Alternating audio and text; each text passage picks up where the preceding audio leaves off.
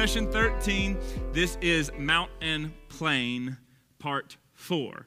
So there are four other sessions that are all dealing in this same particular passage. So if you're like jumping into this, you're like, I wasn't here the last three Wednesdays or two Wednesdays, or you missed some, understand I'm not doing an intense amount of recap on those. I'm just kind of mentioning where we were at so we can continue on into part four. I fully expect this to take this Wednesday and next Wednesday. Uh, so there will be a total of six parts to this for Mount and Plain um, for this. So by the time it's all done, that is roughly give or take six hours of audio video recording footage and roughly going to be somewhere in the vicinity of around 50 pages worth of notes uh, on this just this particular area. This is one of the largest um, sermons, actually, the largest sermon that we ever get uh, of Christ from Matthew's perspective and from Luke's perspective. Matthew's is called the Sermon on the Mount, which most people have heard of or you've heard mentioned or something maybe. Uh, and then you have one called the Sermon on the Plain, okay? the Sermon on the Plain, Sermon on the Mount, we've talked about this in all prior weeks. I'm just going to say this to refresh your memory. Is some people say, well, it's just the same thing, just you know two different accounts for it but it seems to be it was the same message given at two different times one at the top of a mountain one at the bottom of the mountain within a very short period of time if you read the opening remarks as to kind of how we get into this this kind of session and and and, and that jesus is having here um, we see that one happens at the top of a mountain as they're coming down a mountain then they do it at the plain. So it kind of seems like a bunch of people heard about it came and jesus decided to do it again luke's is significantly shorter but kind of covers all the same things uh, and we have already read through all of Luke. So, what we've done in, in part one, we looked at Matthew and Luke, primarily Matthew, and what is commonly referred to as the Beatitudes. All right, so that's the blessed are the these, blessed are the these, which we're just going to kind of see today. And we looked at what Matthew had to say about it and what Luke had to say about it. We dove into Matthew on it. Then, week two, we kind of flipped and went a little bit still with Matthew, but a little bit more with Luke. And then, last one, the, the last session that we did was all Luke. We kind of just talked about where Matthew mentions these things, which we're going to see over the course of this week and next week. But we focused in on Luke, finished out Luke, and read all of that. So, we know what the Sermon on the Plain holds. We know what the Sermon on the Mount holds. Basically, now we're diving into some of the details around this. So there's a lot to unpack with all of this, as you can tell. That's why it's taking six sessions. Um, I, we were we were asked to kind of slow down with this, you know, and try to make sure we got through it in detail. And I'm very glad that we listened to that wisdom um, because we would have just glossed over a lot of stuff like we always do. Come on, who's honest? You read scripture and you're just like, cool, I read it what did I read exactly? You know, and so we took some time. We're really diving into it um, to understand the really the essence of it. And what I mean by the essence of it is this: a lot of times, and you're going to see that in a few things that we read today, we read it, and what we're looking for is specifics uh, uh, about life instead of understanding its generalizations about a spiritual walk. So again, I'll say this every week, probably like this. This can be our new thing we can put on the side of our walls, you know, which is all Scripture is given for spiritual understanding and natural application. We have to keep that in our minds constantly because that's why we walk away with script from reading Scripture and we say, okay, because we're reading it, expecting it to, to tell us something, you know, that it's not trying to tell us. It's trying to help you understand spiritual things and then learn how that looks when you walk it out. There, there's a, a really great little, uh, C.S. Lewis was giving a, a speech at a, uh, uh, this is a long time ago. Obviously, I was not alive. Uh, this was, this was uh, back in the, the, the 40s, if I'm not mistaken. And they asked him a specific question about what it's like for, for a, a, factory worker to come and to know God versus like the businessman. And he says, I see no difference. Why does it make a difference what the person does with their life, in their life, as to how they come to know God or Christ at all? And he says, if you're looking for Christianity, Christianity doesn't tell you how to make the meals, it just tells you to feed the hungry. If you need to know how to make the meals, you got to go get a lesson in, you know, in cookery or something, right? And so this is cookery is a word, uh, but and a lot of times that's what we do, right? We go approach Scripture and we're expecting it to just say, here's the ingredients, here's how you do it, here's the specifics, and you're good. And really, it's more trying to tell you these are the things that should happen, this is the way you should think. And then when we walk out life, we start to apply that to every situation. Does that make sense? So it's important to know about how we need to read Scripture. So let's jump into this. I think we're kind of ramped up as to where we're at Sermon on the Mount, Sermon on the Plain. We're going to start at the beginning of the Sermon on the Mount because we've already done the entire Sermon on the Plain. And you'll notice in the notes, if you have the notes up, you'll notice everywhere it has a title of like a, a specific area of text. So, like for instance, right here, says the Beatitudes. Here's the Beatitudes. Shows you where it's located in Luke, so the Sermon on the Plain. And then it shows you what session we covered it in. So I can understand how this is like, okay, but we did talk about, but which session specifically? So I put in there, you can go back and watch session seven right there, and it will cover that in detail. Make sense? As you go through all that. So let's just start from the beginning. Sermon on the Mount. We see a crowd coming up to Jesus at the top of the mountain. He sits down and he starts to teach them, and he opens with this right here. He opens and starts to teach Blessed are the poor in spirit, for theirs is the kingdom of heaven. Blessed are those who mourn, for they will be comforted. Blessed are the meek, for they will inherit the earth. Blessed are those who hunger and thirst for righteousness, for they will be satisfied. And he goes on and on. I'm not going to read the entire thing because we've dug into this in detail, okay? Now, again, we also understood all these things are spiritual heart motives, right? Like th- these aren't these aren't like oh because you're, you're you notice it didn't say blessed are just the poor, specifically the poor in spirit because we're talking about spiritual things primarily. Okay, so we dove into that, and after that, then we see something that we also did an escape room on, which was salt and light. Which what we see here is this entire conversation about saying, hey, you're supposed to be the salt of the earth.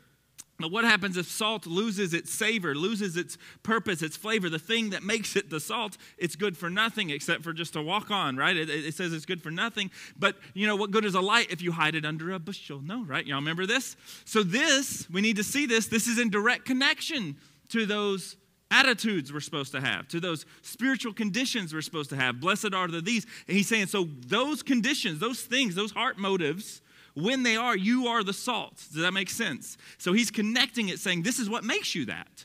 Or all of these things that I just listed. Y'all seeing this? See, most people don't put those two together. We just teach, be the salt of the night. And what does it mean to be the light? It means to shout Jesus from the rooftops, Jesus saves, or to put billboards that say you're going to hell. One of these, like, this is shining our light. No, it's saying the actual character that you house is the thing that makes you this salt and light. Y'all seeing that? Okay? This is all recap. That was covered in session four, okay? That was like nine sessions ago. And then we see this, and this is where we're going to pick up right here. Christ came to fulfill the law. All the way back in session one, we started talking about this idea of fulfillment, if you remember that. It's the very first session. It was a Wednesday night, uh, not unlike tonight, except for y'all were more vigorously enthused about the Vault series, and we're 13 sessions in, and you're like, there's a lot more to talk about. Yes. so, all the way back, if you can remember, if not, go back and watch it. Session one, this big idea came out about fulfillment, and it comes out in all four Gospels constantly everywhere. But Matthew really, really hones in on it. And it's this idea of fulfillment. And we're going to read this and start from here because Luke does talk about it, but he doesn't talk about it in his Sermon on the Plain. Okay? So we've briefly talked about fulfillment, but now we're going to jump into it. Now, what I would like to do is uh, jump right over here and actually read it uh, directly out of the King James uh, for this particular one. So, right here in verse 17, is, which is where we're going to start, right after salt and light, in verse 17, so this is Matthew 5 17, it says, Think not that I've come to destroy the law or the prophets. I have not come to destroy, but to fulfill. Verse 18, For verily I say unto you, till heaven and earth pass, not one, some of yours may say iota or jot or tittle. or it may say a dot, uh, depending on yours. Um, this way will pass from the law till it all be fulfilled. So let's stop right there real quick and let's talk about this. Um, I even said it a couple Sundays ago because that's it's actually kind of a country saying, which is funny. Is like not one iota. Well, if you don't know, actually, an iota is actually a Hebrew letter, okay? and it's the smallest little Hebrew letter. It's like a little little dash kind of looking thing, and it's a letter, uh, and it's the smallest one of them. So that's actually where we get the word an iota is like the smallest little bitty thing. And then the other one is uh, that is called a, a, tittle or a it is sometimes it's called a dot. It's another Hebrew Greek letter that is another little different dash that they use. Things that we don't use in English. All right, but if we can think of it this way, that there's not one I not dotted, you know, one T not crossed kind of a thing, okay? That's what we're supposed to get out of this, okay? So that's what that part means. But let's look. So I didn't come to destroy the law or the prophets. So the reason he makes this distinction is because what he's referring to with the law is what sometimes is referred to as the Mosaic law, meaning the law that came from Moses, okay? So this fully, mostly all focuses on the Ten Commandments. Very rarely do we see many things that when it, people say the law, do they mean like all of it? They're really saying like the Ten Commandments and then and then the other stuff, but primarily the Ten Commandments. The reason that it means primarily, does it mean all? Sure. But primarily the Ten Commandments, because if you actually, actually look at the Ten Commandments, and we'll see this this evening, they're not really like how society should run so much as they're about your heart towards God. And most people miss that when they read off the Ten Commandments, which like are on buildings all over this country. And most of them or actually, if not all, I, I would argue, actually, in my view, I would say all, are actually to do with a heart motive towards God more than about this, the way society should run in actions, okay? And that's actually what Jesus comes to say he's going to fix. And we're going to read that here in just a minute, okay? Now, are there tons of other laws? Yeah. In, in the uh, Hebrew culture, they're at this point, I think they're in the 400s, 600s, some, I mean, they're way up there. But at the time that Jesus is referring to it, there's closer to a couple hundred at that point or something like that. And I mean, there's some all the way down. I mean, let's, guys, this is, we're all adults in here, so we can just have a conversation. There is laws in the Bible that if a woman is on her period, she can't, she has to like put a bucket outside the tent and can't sleep in her husband's in the same tent. And like, could, could y'all imagine that? it's that time of the month. Bachelor day, like for a week. Like, no, like this is weird. Why? This has to do with their society, okay? But we cannot take that logic and then say, so all of Scripture is just their society. And this is where we don't rightly divide the word. We want to take one thing that is, is true here and just say, well, if it's true there, it's true to every single thing I read in the Bible. I can just say it's culture. No, you can't do that everywhere. There's certain things that you can, certain things that you can't. You have to learn how to rightly divide. So, what we can understand is that most of what Jesus is referring to, if not always, is always spiritual in nature and is always tied to a heart motive. So he says, I didn't come to destroy all that law, that, that moral, moral law. I didn't come to do that. That's not, I didn't come to make it easy for you, okay? nor the prophets, meaning all the prophecies, all the things that they have said would happen. I didn't come to do away with that either. But what did I come to do? Fulfill. Now, again, refer to session one if you want to understand the meaning of fulfillment. It means to make whole, complete, finish, that kind of an idea. He says, this next one, till heaven and earth pass. Now, this can be taken in one of two ways, okay? Heaven and earth pass can be taken as what you will commonly hear people say, which is until heaven is destroyed and disappears, and then earth is destroyed and disappears. Or it's what's called an idiom, which means heaven is supposed to be the eternal realm in which God dwells, which last time I checked, God doesn't get destroyed. So where does God go during this time? So he's making kind of like a this ain't going anywhere ever idea. Like it would take both of these things disappearing and no longer existing. Now, I hear some of you in your head, and you're quoting Revelation. What you need to understand is new heaven, new earth. The word new there means renewed, not like a brand new. And we talked about it on Sunday. God does not make all new things, He makes all things new. And that's very different, right? Making all new things means I destroy and get rid of old, and I just create something brand new. But that's not what Scripture tells us. It does not say that God makes all new things, it says He makes all things new. And we see that from Genesis and we see that in Revelation. So now, I'm going to pause right here on all this this is going to be the fun part, okay? If you want to have a conversation in detail about this, because there's a lot of stuff I want to talk about, I am going to, after this session, okay, we are going to cut end session 13, and then I am going to have a kind of Q&A talk about this verse 18 uh, right here and 19, okay? If you want to go into a little more detail about it, okay? So now let's keep reading 19. We're just going to keep going here, all right? Verse 19, so whosoever shall break even the least of these commandments, and teach men to do so, he shall be called the least in the kingdom. But whosoever shall teach them the same, so meaning to do these, he's called great in the kingdom. Okay? So I'd like to point out just one thing about this, and then we're going to leave this part alone and keep going on, and we'll talk about this at the end if you, if like I said, if you want to. You don't have to stay; you can leave. Uh, but anybody who wants to, it's going to be a fun, interesting conversation. Um, but right here, notice it says not just if you do them, but you're also teaching people to do it. This is where we get the idea that they shall know them by their fruits and stuff. It's going to be sampled. So basically, what Jesus is saying here, it ain't just about can you keep your crap together long enough. It's the fact of whatever it is you're doing, you are teaching somebody. You are someone's underling and someone is learning from you. If you have children, this is 100% true. yeah, I'm going to say it. So if we look at our children and how they're behaving and how they are, so if you don't have kids right now, you know, no worries. Um, but you are still teaching someone. Remember that. So this applies to all. If you have children, you look at how they're behaving, how they view God, how they think about this, how they think about that. Understand you taught them that. Now, again, if you want to give yourself an out and say, well, they got friends at school, you taught them it was okay. I take full responsibility for anything that my children do, and that will go until they are no longer in my house. And at that point, it's like, it's your decisions, you know. And God gives us a promise with that, by the way train up a child in the way they should go. And it doesn't say they, hopefully, maybe not, they'll, no, it says they won't depart. At some point, they will come back to it.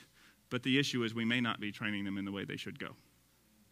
So we continue on, shall we? So, you're teaching somebody. You're actively propagating. We talked about this too. We don't like to hear it this straight, but this is what Jesus is saying. You're actively propagating disobedience or obedience. There's no in between here. One or the other is what's happening.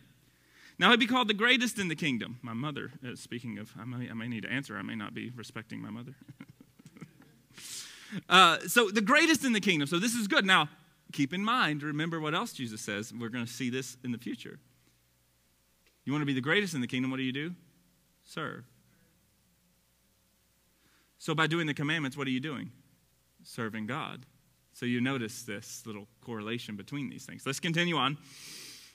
Verse 20, for I say unto you that except your righteousness shall exceed the righteousness of the scribes and the Pharisees, ye shall in no case enter into the kingdom of heaven. Now, what is he trying to say right here? Now, this right here, your righteousness, this idea of your righteousness, this is not to be confused with man's righteousness. Okay, this is not meaning that if your version of righteousness, like the one that, you know, that Ariel thinks is, well, this is my righteousness. This is the best, you know, this is that mine is better than theirs. This is not a comparison like that. This is saying the righteousness you are obtaining. Guys, we talked about this in week one as well. What righteousness are we obtaining? The righteousness that Christ gave us. So he says, This is the one you're supposed to have as being my follower. So unless you obtain that, which is exceeding the righteousness of the Pharisees, and the scribes. Now, the Pharisees and the scribes, we've talked about them quite a bit. They were guys who could quote this scripture back and forth, left and right, and could tell you how it all works. But Jesus is constantly saying, You're not so bright about this. How do, how do you not understand this? What are, you, what are you not getting about this? Because the Spirit was completely removed from it for them. It was a simple action laws and it was religion. And so he's calling that out. Because what is the word righteousness? It means an upright state or the state one ought to be in. So, unless the state that you ought to be in is the righteousness that Christ has given, which exceeds the way the state that they think they ought to be in. Does that make sense? He's drawing this comparison, saying, here's how the Pharisees think righteousness works. Do this, do that, sacrifice this, do it. You know, who cares about your heart? Just do the thing. He says, unless it goes beyond, exceeds doesn't mean necessarily better than either, it, but it means to go further than.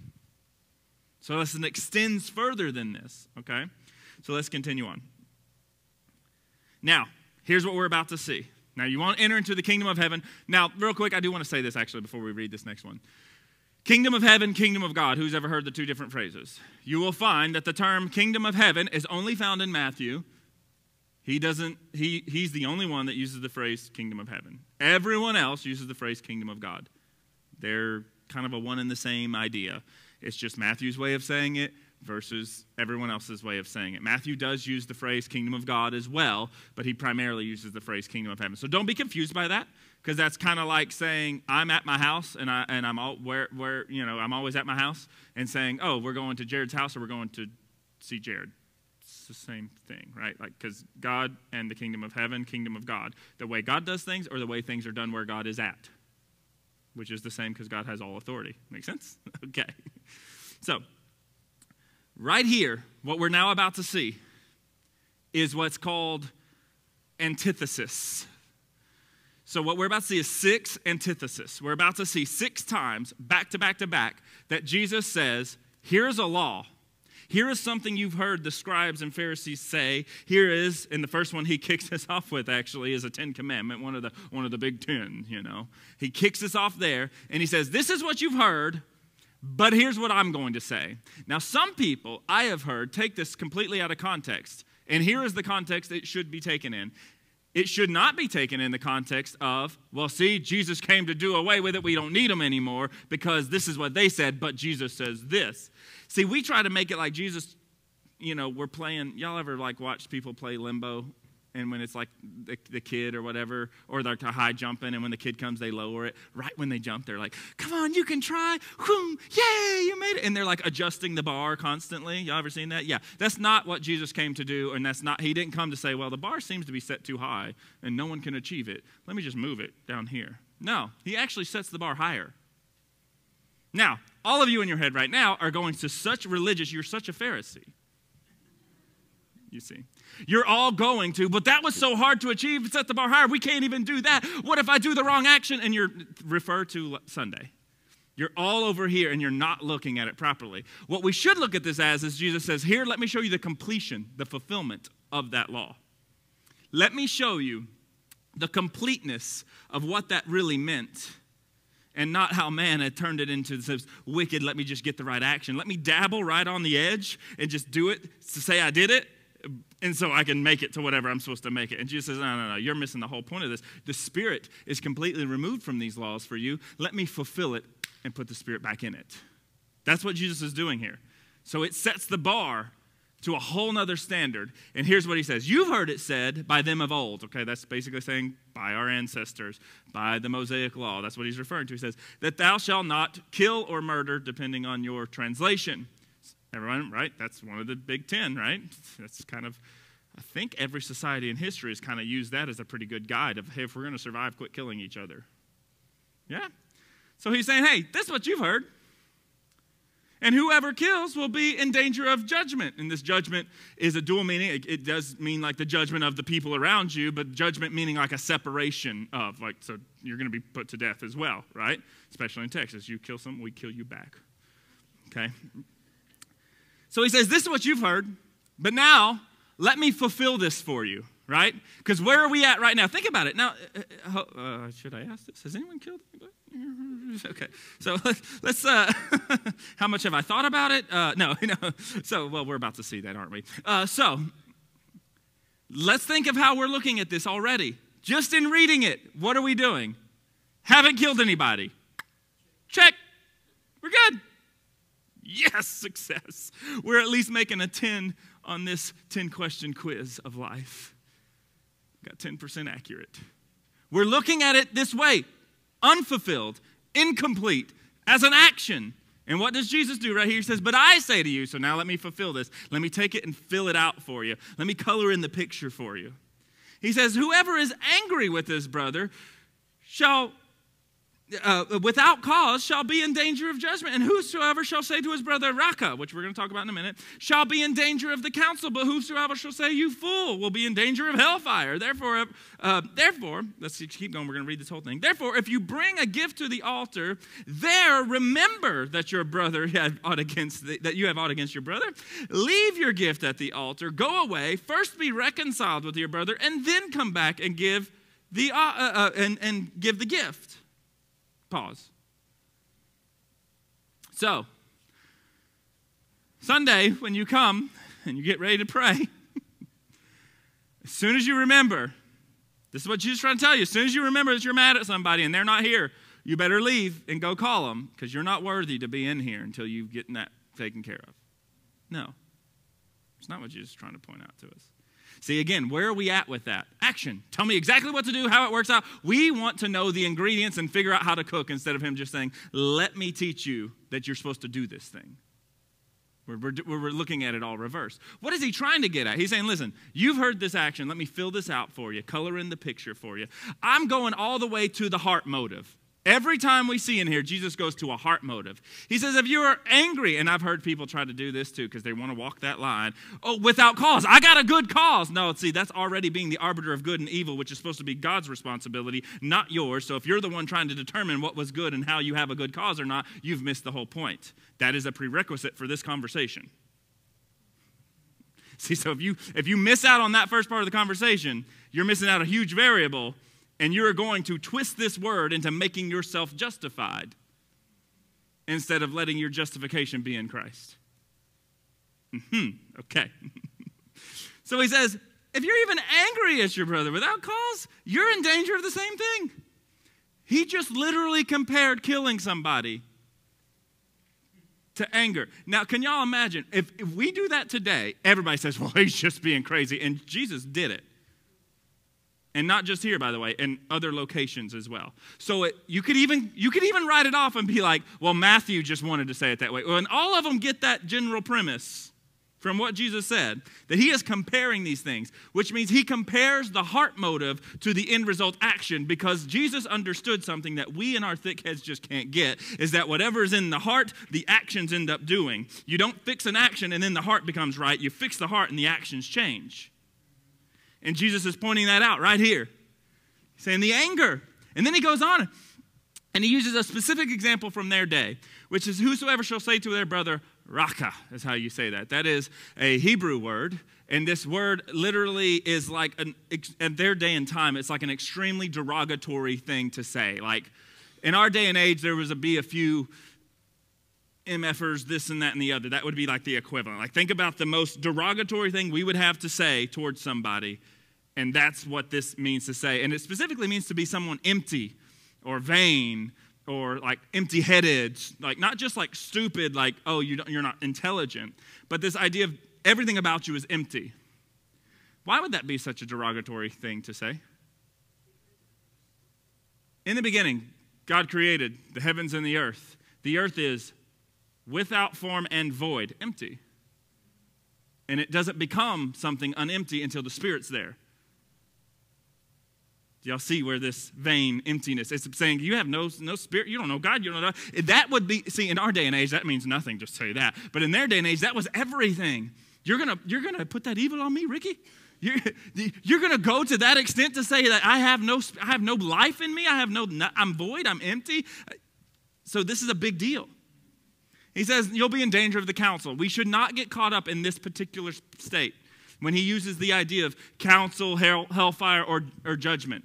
What he's doing is saying, because if you did this to, to, to your brother in their day and time and you said that, you know, then you may end up going to the council of your local village. So he's saying the same thing it's judgment.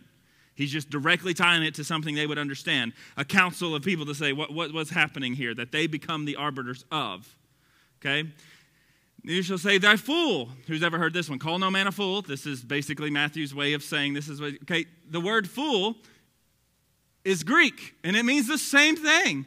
You ignorant, empty headed, vain, void person. So he's just doing it. Why? I already told you why in session uh, part one of this.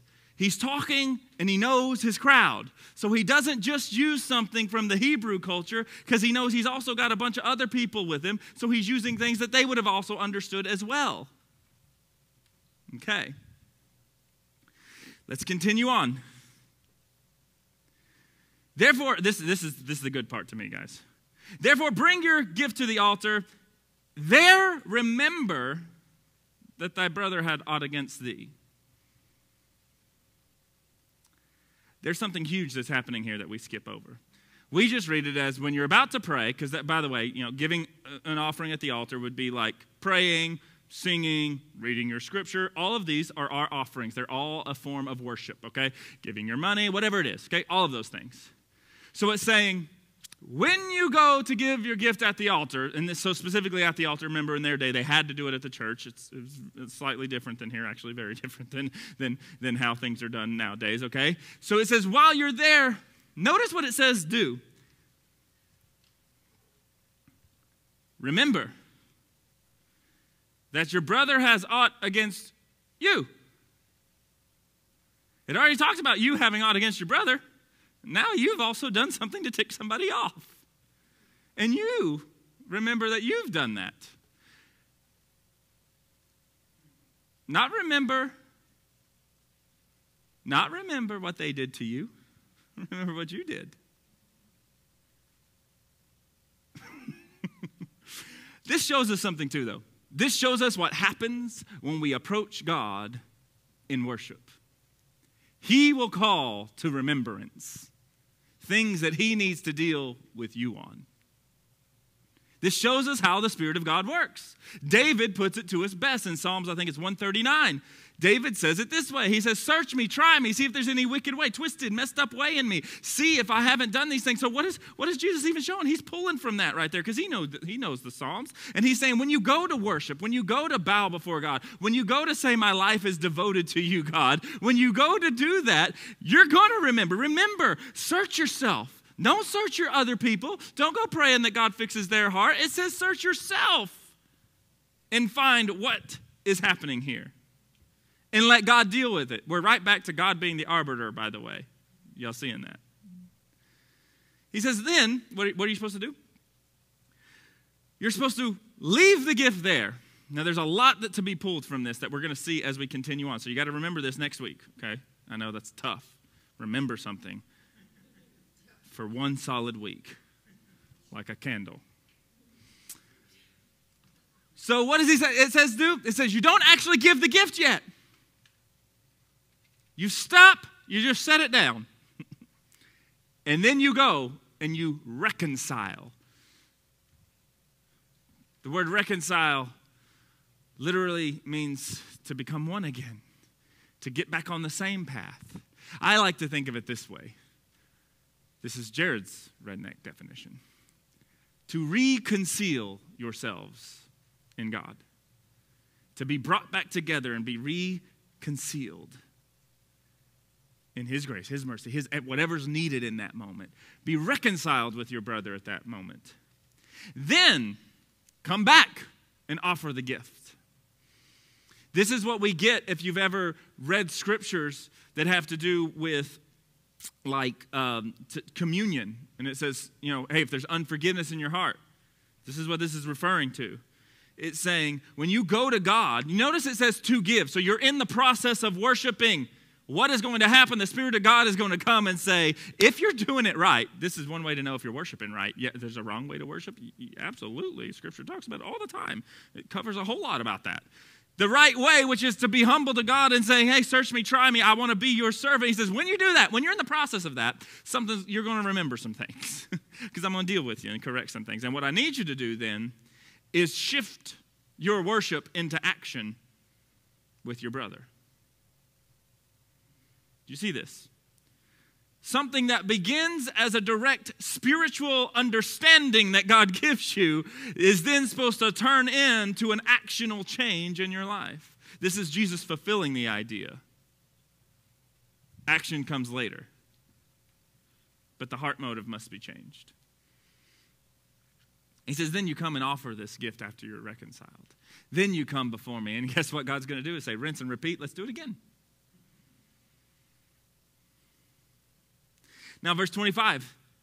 This is kind of another idea. Now, this is all still under the idea of thou shalt not kill. Are y'all seeing this? Has he given us another command yet? No. He's still focusing in on this idea of, of, of, of murder, of, of, of kill, of, of slander. He's, he's addressing this pretty heavily, right? Starts off with anger, and then he starts off with your heart towards if someone's upset at you and you're upset at them. And now he goes even further. He says, agree with your adversary quickly while you art in the way of him, this means like while you're in front of him, while you're together, lest at any time your adversary, or some of your says the adversary, but this is not a definitive, this is like an adversary, delivers you to judgment, or to the judge, and the judge delivers you to the officer, and then you'll be cast into prison. So, what he's doing here is actually telling you exactly what would happen in their day and age of if you get into a dispute with someone, right? About money, land, a cow, whatever, you know, maybe a camel, I'd guess, in their day too, in their time, right? If you're in a dispute with someone, Jesus is saying, figure out a way to make it right, right then, right now. Keep unity there. Because if you do not, you could be on your merry way, and then in their day and age, they're going to go to the judge of, of their little area, then he's going to go to the officer of, of the courts, kind of a thing, if you can think of it this way, and then they're going to throw you in prison because you were in a disagreement. Okay? What is this uh, uh, assuming, by the way? If you're the one getting thrown into prison, you're the one in the wrong. That was not accidental. Okay?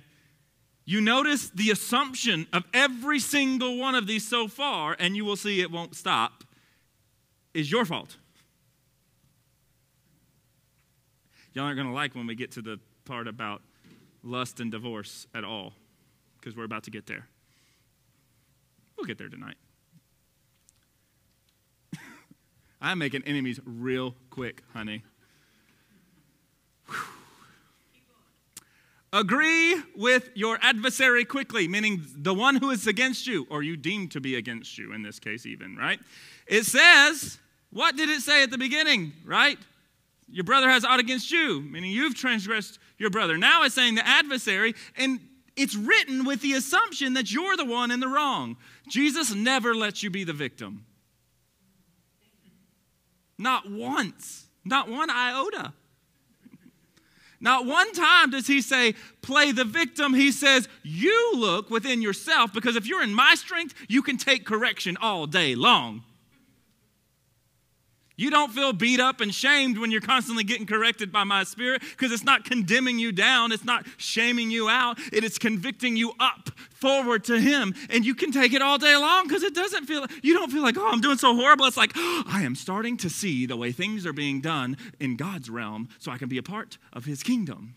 And so it's constantly looking at it from the perspective of self evaluate, quit pointing the finger everywhere else, quit looking at everything else. I could give you an example specifically with marriage, but I'll hold it just in a minute. Do y'all notice that? I'm reading from your Bible. Assuming, this is all assuming that you're the one getting cast into prison. And we breeze that, don't we? We just read it, oh, you'll get cast into prison. I don't want to go to prison. Don't kill anybody. You're missing the spiritual notion of what Jesus is trying to communicate to you. Be humble to his spirit. and let me just throw this in here too. This is also assuming you're not the one to decipher what was right and wrong in the situation. See, I swear, people don't read. Verse 26 Very last say unto you, that by no means shall you come out until has paid the utmost farthing or like penny like it's it's a small denomination meaning every cent is paid for this thing. Now this is an interesting piece right here. So he's right we're talking about this your, your like self-evaluation and everything like this and what does he now go? He says when you get thrown into that prison you ain't coming out till everything gets paid and then we sing songs. Here's a really, really old one if you know it. Jesus paid it all. What is he doing? Guys, Matthew, Levi was his, his real name, he's not dumb. He knew what Jesus was trying to communicate and what Jesus said. Luke, not dumb. He knew what Jesus was trying to communicate. So he writes it in there purposefully for the way that Jesus was saying what he was saying to help. It's like the, the best foreshadowing you can get of, like, hey, by the way, I got the shame in the prison part covered if you can stay humble. Are we starting to see the gospel message just like right there? okay, let's continue on. Y'all aren't as excited as me. All right, here's the second. Don't worry, that was the longest one. The next antithesis is faster. yes. I can speak Parseltongue. Uh, okay. that was for Harry Potter people. All right, verse 27. You have heard it said by them of old. All right, now here's a new one. Thou shalt not commit adultery. Boom, pulling from the top 10 again. But I say unto you, whoever looks on a woman and lusts after her, he has committed adultery with her already in his heart. And then verse 29 And if your right eye offends you, pluck it out and cast it from thee, for it is more profitable that one of your members should perish than that the whole body should be cast into hell. Verse 30 um, And if thy right hand offends thee, cut it off and cast it from thee, for it is more profitable that one of thy members perish than that the whole body is cast into hell. Now we stop. Now we're about to get to the next one. Let's break this down real quick, shall we? I told you I'm coming for you. Right? I'm coming for myself too. So let's just go. First off, this is another one. Jesus is about to do what? Color in the picture. He's about to fulfill this law. See, we always think fulfill meaning like he filled it. Yes, he satisfied it. But also fulfill it meaning I'm going to give you the full picture. You're going to get the full picture of what was meant by this phrase.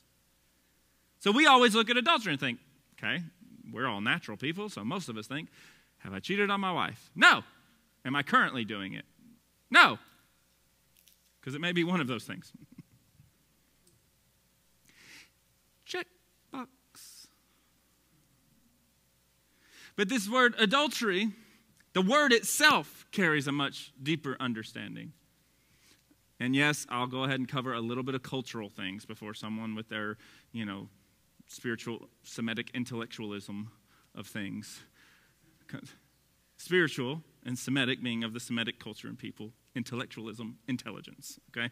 Meaning like you're tying all this stuff together and you're looking and saying, well, in their day, only adultery could be committed by a woman sleeping with a married man, or if that man slept with a married woman. So if they're not married, it doesn't count, which is actually one of the arguments in the days of Jesus, which is why he brought this up.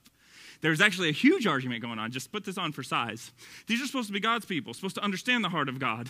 And this was their argument about adultery is that, okay, here's how adultery works. And they literally have extra laws, not in your Bible, that some are in your Bible, and then they have extra ones being written, which was, well, here's how it works adultery is only a man sleeping with a married woman. So if she's not married, free pass and it's only if if it's only adultery from the woman's perspective if she's married or if she solicits, solicits it. So if you're a prostitute. And then they're like well but it's but adultery is also like sleeping with your family member which is a part of it as well. So it's like yeah yeah yeah. Well who's my family? This is the little argu- literal arguments of their day. Because what they came to decide This is the Israelite people. They came to decide that it was within your tribe. Everyone outside of your tribe, it's not adultery. Literally, this was their kind of core decision. Meaning that out of all the 12 tribes, as long as she's not in your tribe, you're good. What if she's married? Well, that's fine. She's not in my tribe. They literally twisted this all the way into that. And so, no wonder Jesus brings this one up. Because he's like, you guys are crazy. So he brings this up, but we also need to understand see, we are natural beings. Yes, everybody touch, you know, you're natural. So all you think about is natural things.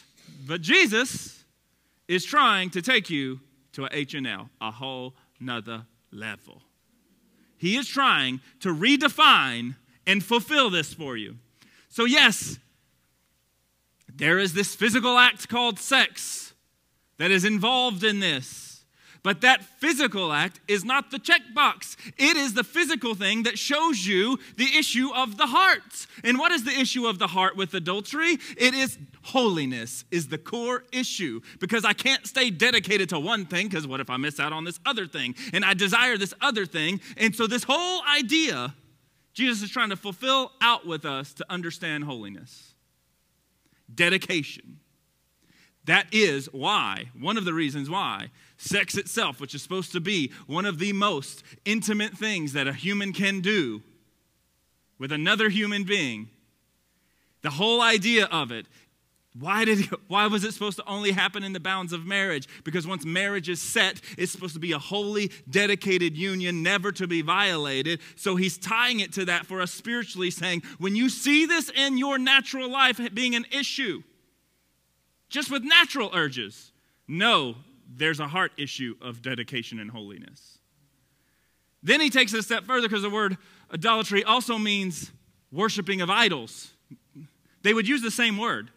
See, we think of it, see, we say we're worshiping of idols. That's not as, you know, that, that's, that's bad or worse than cheating on your wife. Like, we can get by with that. Blah, blah, blah. No, for them, it's like, it's the same thing. It is all what? The word is unholy. It is all undedicated. It is all separated. Every single bit of it. No distinction.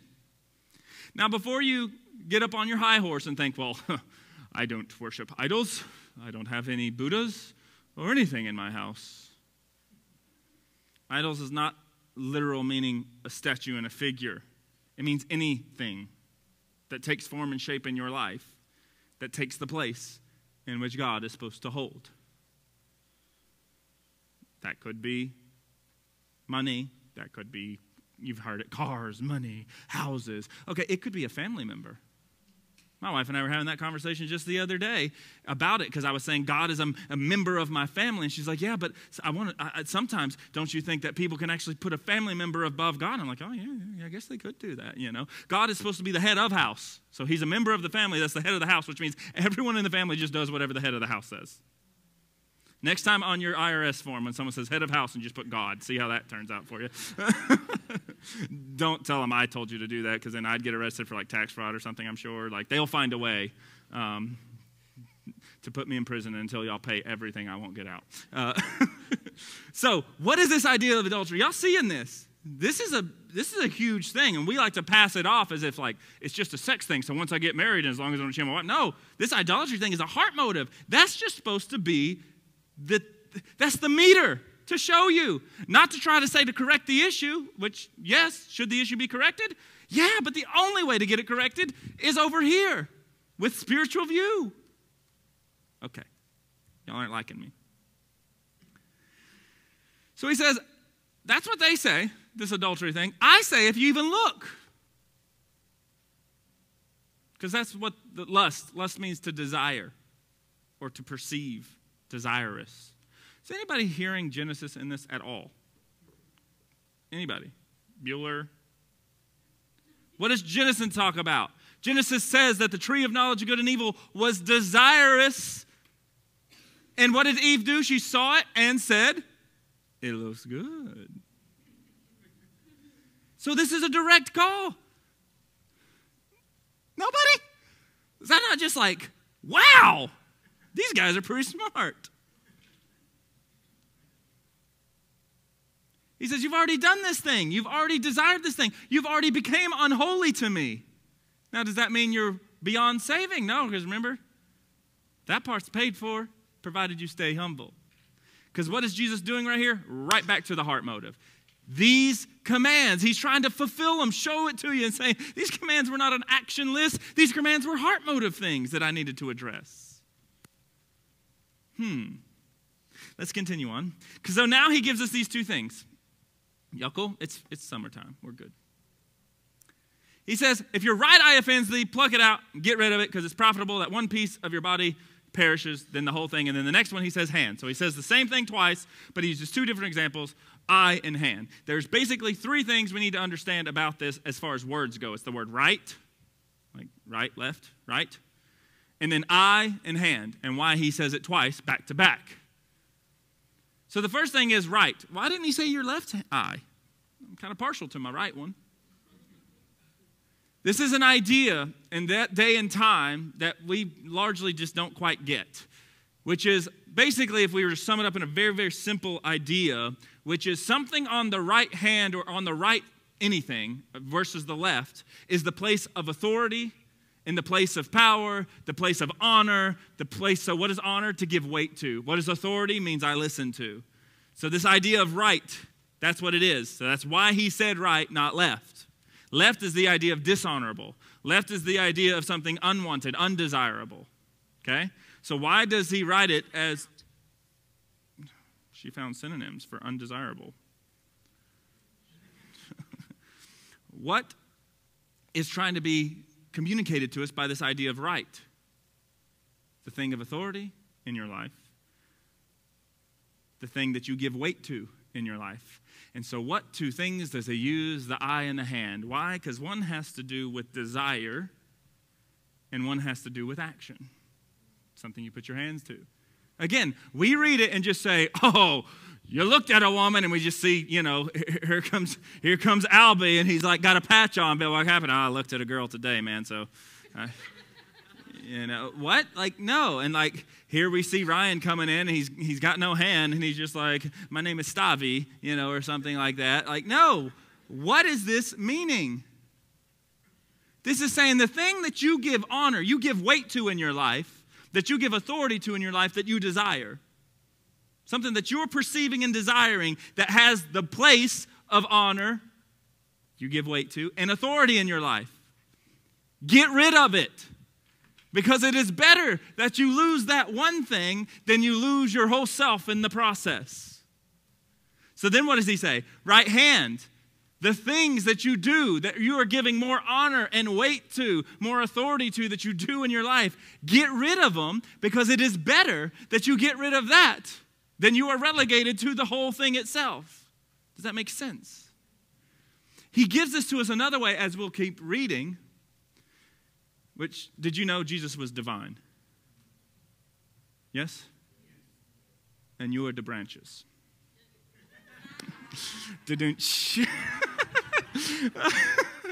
but this is, this is actually, y'all want one more joke?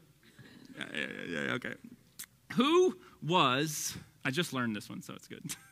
Who was the most business savvy woman in the Bible? The most business savvy woman in the Bible?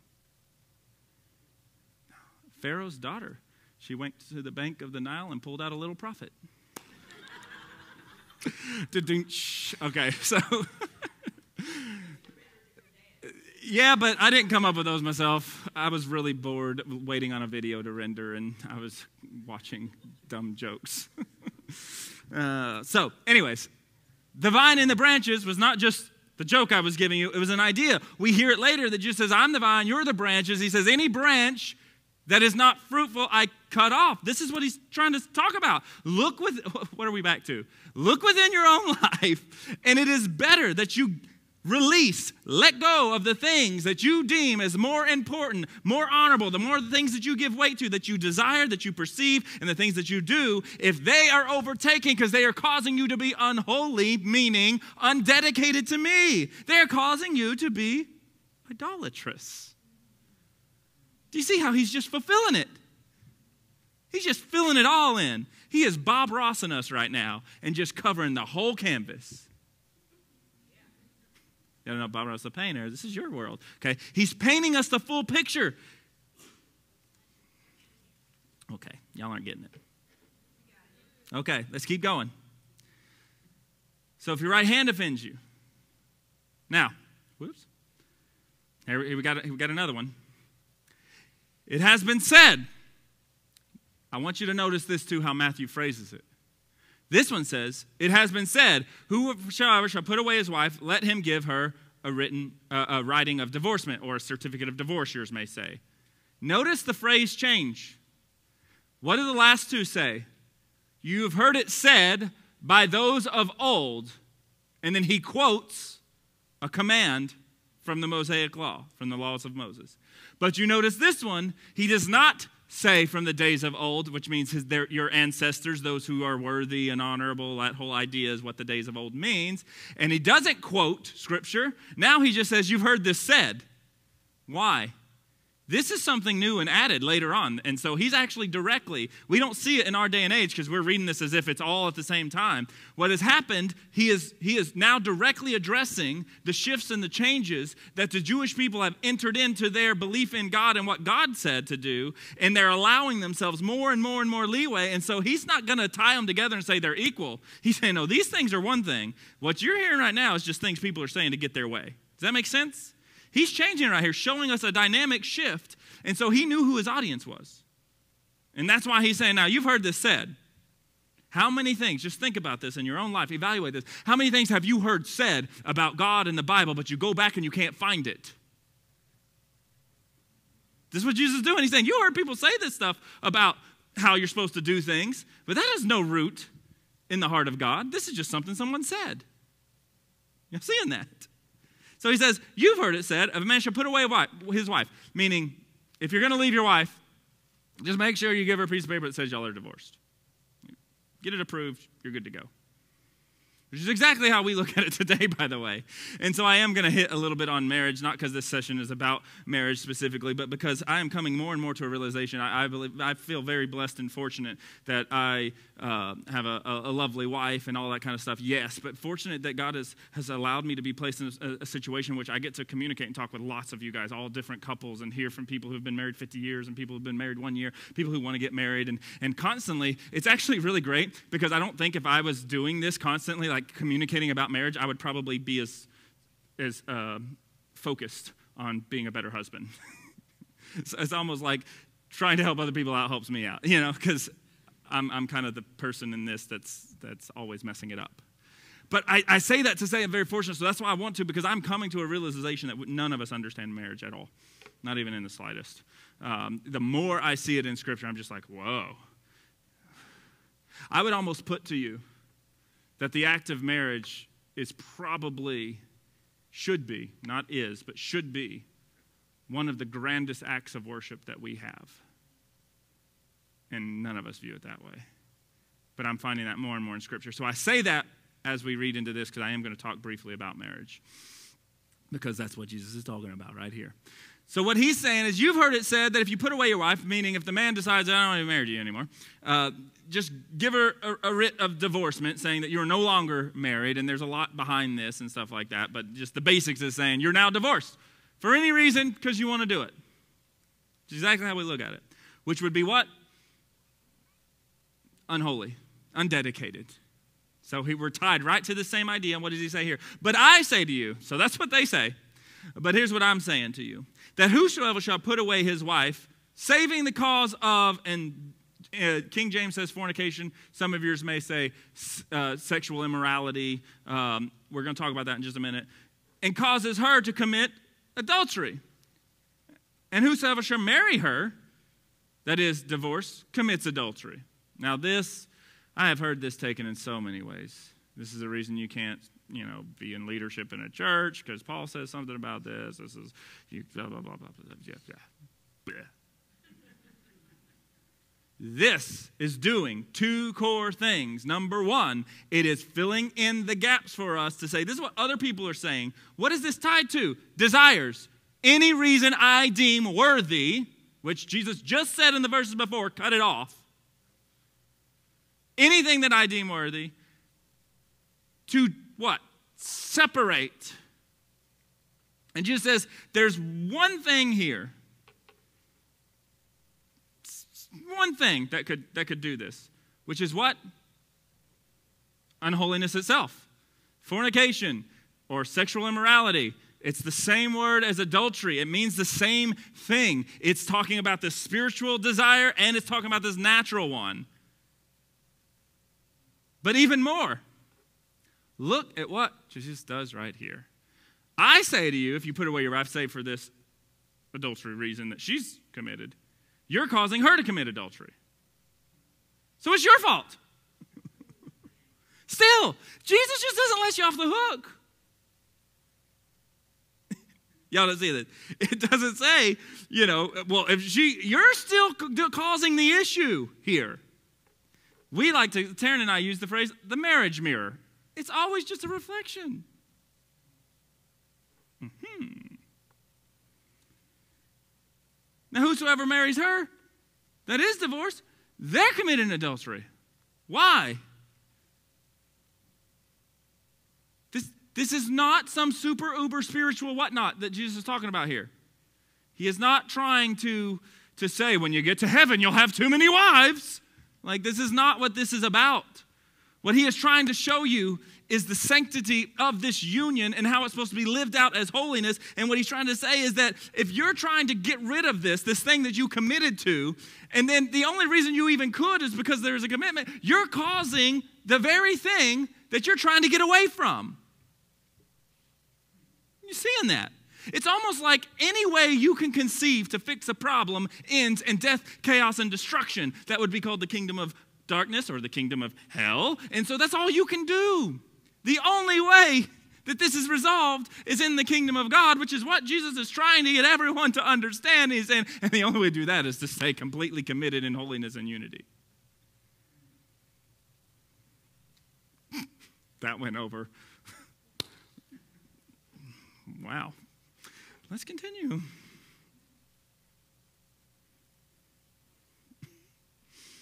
Yeah, I'm going to leave it alone. All right, let's keep going.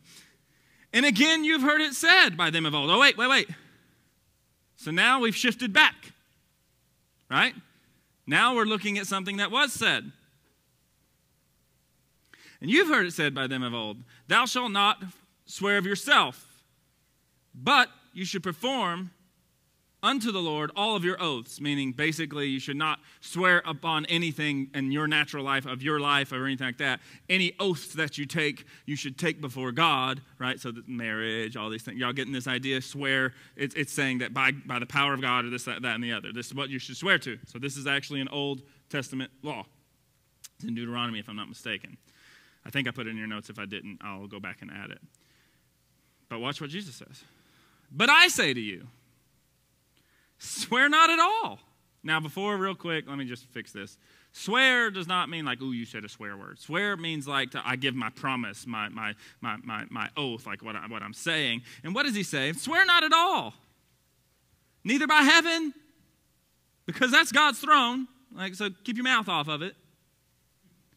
Nor by earth, because it's his footstool. Even the place that his feet goes, your mouth ain't worthy for. So shut it neither by Jerusalem. So, not even by a part of it, because that's for the great king. Because, okay, Jerusalem, city of peace, prince of peace, peace. Okay, this whole idea. Neither shall you swear by your head, because you can't make one hair white or black. Because you swearing by your own life, you can't do anything about it, anyways. And then he wraps it up with this idea. But let your communication be yea, yea, nay, nay. For whatever more, all that comes is evil. And I want to put this on for size because I live this all the time. Let your communication, everything that comes out of your mouth, y'all aren't going to like me at all. I may need to turn and face the vault. Or maybe I'll open the door, get behind it, and shut it. All of the words that come out of your mouth to each other and to everyone, let it be if it's a yes, just let it be yes. Need not say more. If it's a no, let it be no. I need not say more because everything else that follows from that is evil. And the word evil there's the word poneros, which means full of labors, annoyances, and toils. Because see, when you go start talking to people and you're, I promise, I promise, I promise, what does it do? It adds weight and burdens to you to fulfill something that you've said, even though you've overcommitted. Because I do that all the time. I have a good heart, guys. But I am horrible at scheduling. I just, my grandmother's laughing because she knows. I, I, I fail at this constantly. But you know what it should do? It should call me to one remembrance of another scripture that says, From out of the heart, the mouth speaks. So if we're seeing our communication not be exactly and dedicated to what it was, we are seeing our own level of undedication or unholiness. This should not be a thing of I, just, I said yes, yes is yes, my word is final, you just do it or what. No, that's not what this is saying. It's saying you should be so dedicated, so focused, so much in it that everything you say is what you mean, you mean what you say. And not, I'm not talking about miscommunication. I'm saying if I, if I said I'll do it, I'll do it. If I said I'm not going to do it, I'm not going to do it. Oh, y'all think, oh, for someone else. No, how about in your own life if you said, I am going to serve God in this manner, and then the next day you don't? Or I will not step into this realm because I know where that will cause me to go, but yet you do it. This is dual play. Yes, it is to other people as well. So it's saying you shouldn't have to promise and do all this stuff because all that's going to come from that is labors, annoyances, and toils, anxiety, everything because you're trying to create and say and do. And, and, and oh, it's, um, I'm going to go ahead and attack this and we'll, we won't bleep it out because I don't care. Uh, this is like the whole thing. What actually comes from all this name it, claim it, jibber jabber crap is this evil, unrest. Because now people think that the purpose of the Spirit of God within you is to create more things, and so now they are caught up in evilness. I didn't say they're bad in nature and they have bad hearts. All I said was what you get caught up in is now I am trying to fulfill what I have said because I said God was going to do this thing, and God may not really have said it or, or not. Uh, and then so now I got to make it happen to make sure my word is fulfilled. And now you become the one that is making things happen. And it all falls apart very quickly. Didn't know we could get all that from one verse, did you? I love it. Y'all not love it. I used to say I like John. I think I like Matthew. I don't know. Maybe I like both of them, but it's good. All that comes from this type. So from out of the heart, the mouth speaks. So if we see our communication not being holy, dedicated, singular, keep your eyes single, remember? If we don't see it that, that is not to say, oh, you're so horrible. That is to say, self evaluate my heart is not as dedicated to the things I've said it is supposed to be dedicated to. See, because this is the other thing. God's the same yesterday, today, and forever. It's what we say all the time, which means he, His word is constant, you know, consistent, never changing. And so, if you're supposed to be in His kingdom doing it how He says to do it, everything you say is God, so it won't change. So, it's not that hard to say yes and no because it's always the same answer, no matter the circumstance. To everything, my answer is always the same.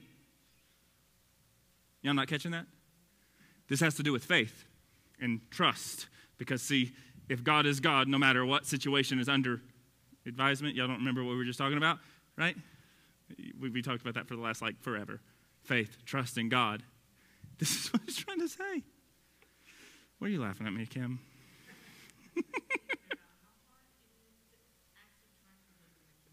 yes. And if we are there, truly, think about it. If we are there, what we are doing is doing what, the, what in, in Genesis we're doing, saying, I'm so horrible. But that's in our strength because we're trying to figure it out and versus jumping right back over here and saying, no, no, no. I don't have to do that. I don't have to cover it up. I can stand right here in front of y'all and preach on a, a message in which I epically fail. Everyone in this room that's ever heard me say something can say, yeah, Jared totally fails at doing what he said he's going to do. And, and, can so, and y'all could all totally say, well, Jared means well. His heart's in the right place. So what is that? That's, uh, I, I got, I'm, I'm, I'm not as dedicated to the things I said I was going to be dedicated to. I got to reevaluate.